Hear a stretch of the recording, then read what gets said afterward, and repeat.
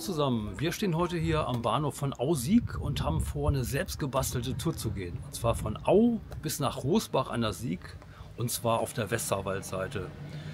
Und wir denken, dass es so etwa 14 Kilometer sind. Höhenmeter wissen wir noch nicht. Wir lassen uns überraschen und ihr auch. Komm mit!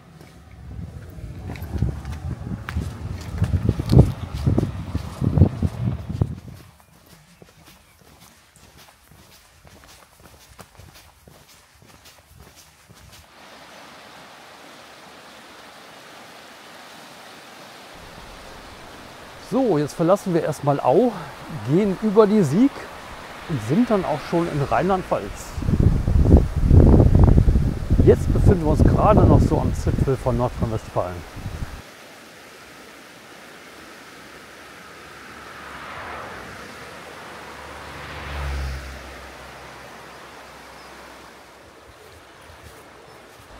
So, jetzt haben wir die Zivilisation auch schon mal verlassen. Hier wird es schon ein bisschen wild und matschig.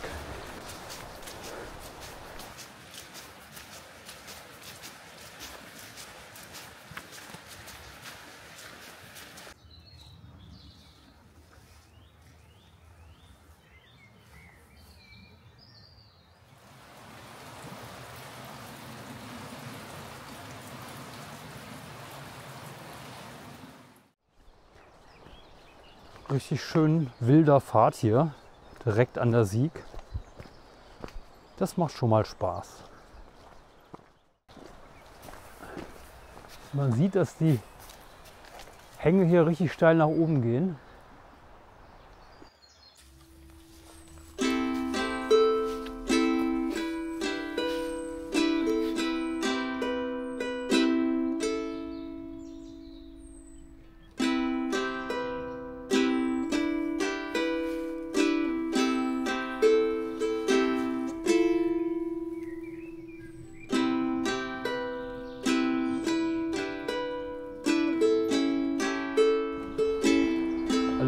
Dschungel aus momentan.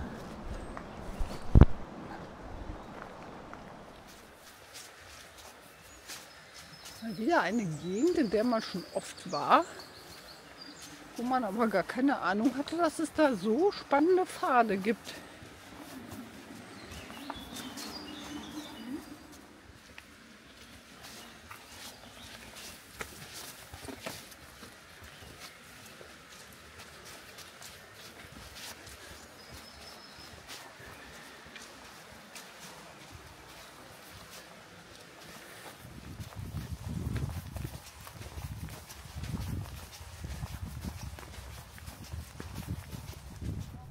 So, jetzt queren wir hier die Eisenbahnstrecke von Au nach Altenkirchen. Ah, und hier riecht es ganz toll nach Waldmeister. Das müsst ihr euch jetzt einfach mal vorstellen.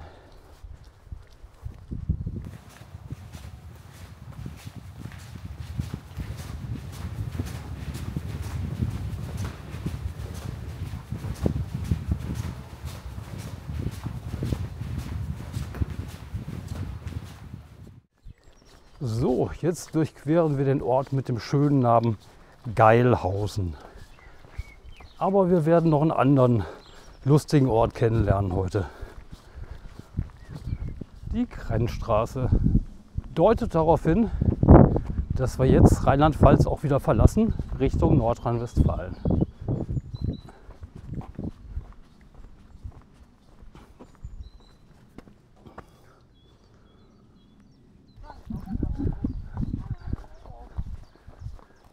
Hallo.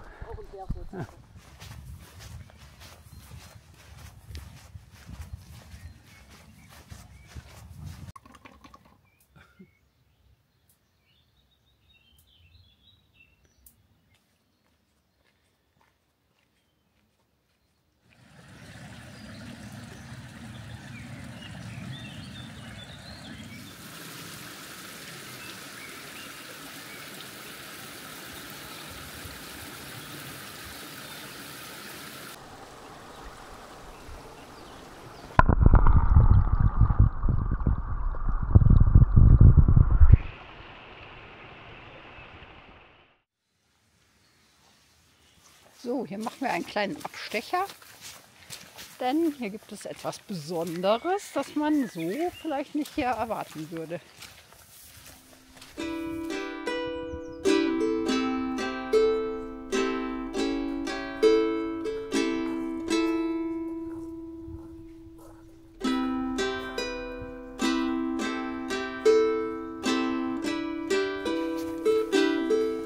Kleine Weiler Hassel ist nämlich inzwischen ein buddhistisches Kloster.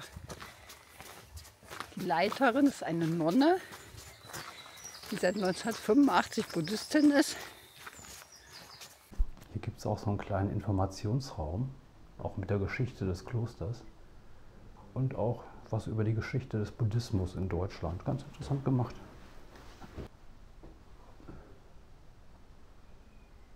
Und man wird hier auch Liebe voll empfangen und bekommt einen Tee.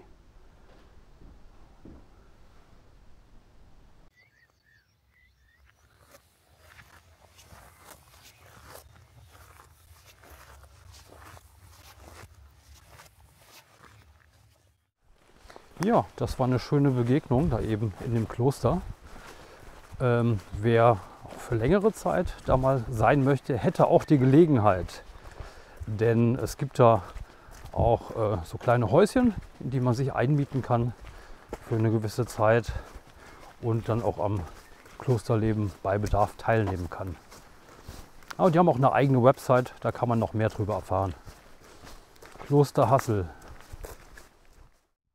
Ja, zur Abwechslung geht es jetzt auch mal ein Stück an der Landstraße entlang. Ließ sich nicht vermeiden.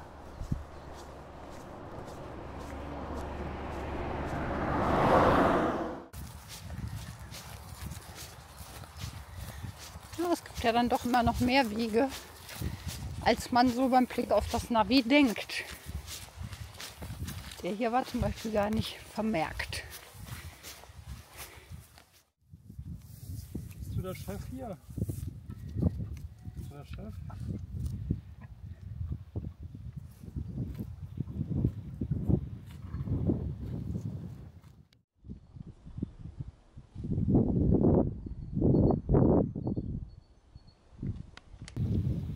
Ja, jetzt kommen wir in den Ort Schabernack und hoffen mal ganz stark, dass die Pausenbänke hier nicht angesägt sind von den Bewohnern.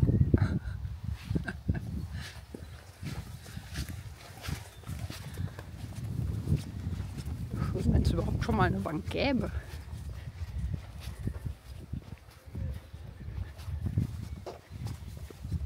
Denkt man wenigstens in der Bushaltestelle gibt es wahrscheinlich eine Bank, aber das ist nur eine Single-Aufenthalt, Bushaltestelle. Naja.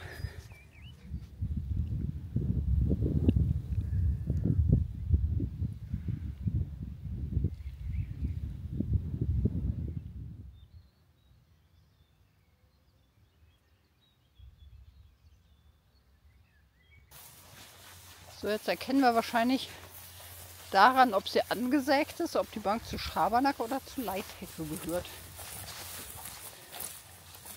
Wohl eher zu Leithecke. Ja, ist stabil, kein Schabernack.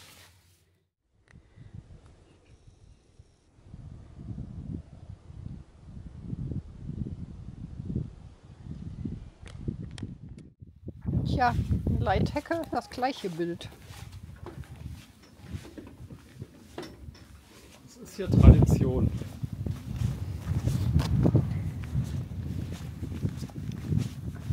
Wahrscheinlich auch ein Zeichen dafür, wie viele Leute hier mit dem Bus fahren.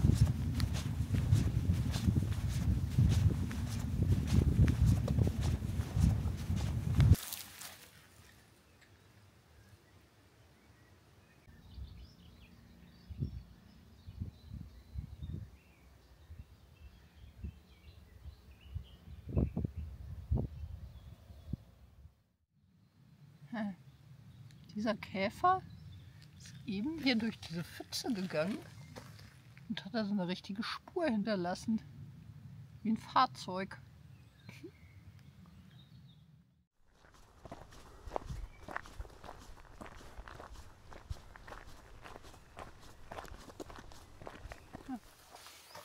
Eine Katze.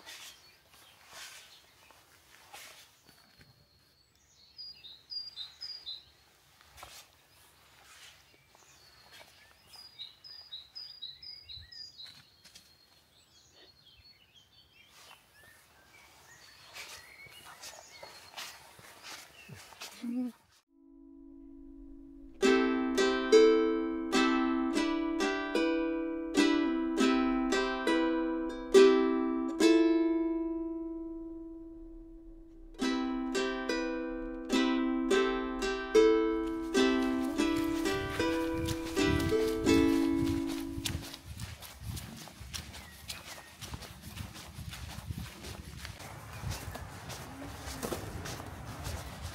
So, da sind wir wieder an der Sieg.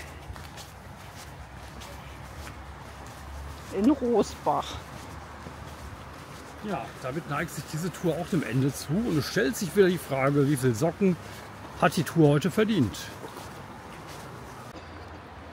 Ja, war doch schön und äh, vor allem interessant. Ja, also der erste Kilometer war sogar richtig spektakulär. Danach äh, war es dann eher idyllisch zum großen Teil.